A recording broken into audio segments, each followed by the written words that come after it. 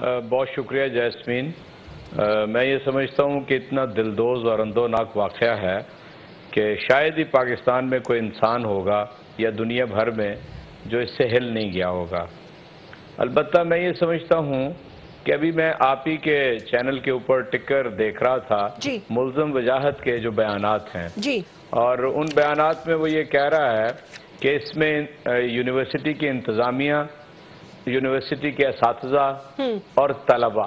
یعنی مجھے حیرت ہے کہ یونیورسٹی کی انتظامیہ بھی اس کاروائی میں شریک ہے اساتذہ بھی اس کاروائی میں شریک ہے فرض کیجیے اس ملزم کے کہنے کے مطابق خدا نہ خواستہ سم خدا نہ خواستہ کوئی توہین کا پہلو نکلتا بھی تھا تو مجھے بتائیں کہ انسانیت کے پاکستان کے آئین کے پاکستان کے قانون کے دنیا کے کس قانون کے تحت ایک فرد کو یا چند افراد کے گروہ کو یہ حق پہنچتا ہے کہ وہ خود ہی یعنی جج جیوری اور ایگزیکیوشن سارے کام خود ہی کر لیں۔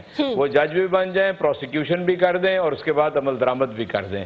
میں یہ سمجھتا ہوں کہ عمومی طور پہ پاکستانی معاشرے کے اندر یعنی چیزوں کو بالکل سطحی طور پہ لے جاتا ہے۔ ہماری جو بھی معاشرت بن چکی ہے اس وقت اور اس میں یہ پچھلے تین چار دہائیاں گزری ہیں پاکستان کے اندر جس میں یعنی یہ سوچ کا انداز جو ہے یہ والا ہو گیا ہے کہ فوری رد عمل اور اس کے اوپر یعنی کوئی کسی عمر کسی طبقہ کسی یعنی وہ ہوتا ہے نا فلاں مکاتب فکر تھے فلاں طبقات تھے وہ نہیں سب ایک ہی طرح مجھے نظر آ رہے ہیں۔